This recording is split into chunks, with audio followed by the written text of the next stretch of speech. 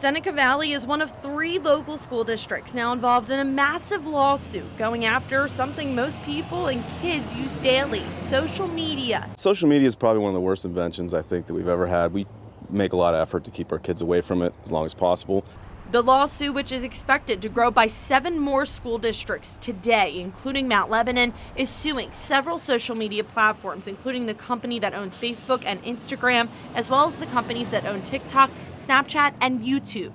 The lawsuit states American youth is facing, quote, possibly the most severe mental health crisis in history, and accusing the social media platforms of being the root of the problem, stating that the apps are purposely causing students to become addicted to them and putting a strain on schools' resources.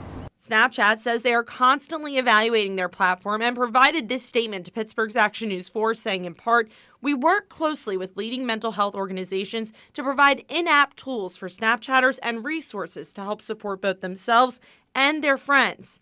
Google, who is also a defendant, says in part, We have built age appropriate experiences for kids and families on YouTube and provide parents with robust controls. These allegations and these complaints are simply not true. I don't know about happy. I mean, it'll be interesting to see how it plays out for sure. But, um, you know, I think you got to handle it at your house as much as possible before the school gets involved.